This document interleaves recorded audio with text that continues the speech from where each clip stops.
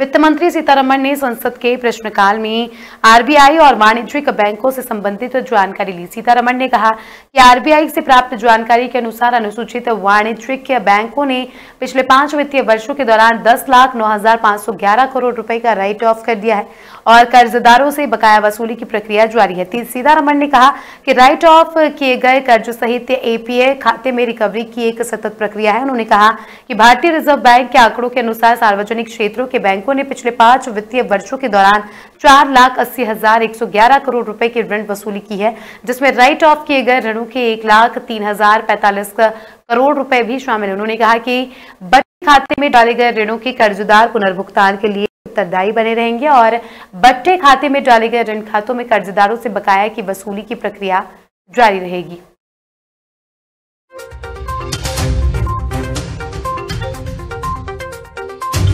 I quite understand the sentiment with which Honorable Member Supriya ji has asked this question and I'm fully appreciative of that thought. Yes, it takes a long time. The processes are very layered and there are times when even if they are sets of defaulters, the word willful is really not in the parlance, but still I'm using it very loosely. I'm not uh, using it with the, the usual uh, weight of that word.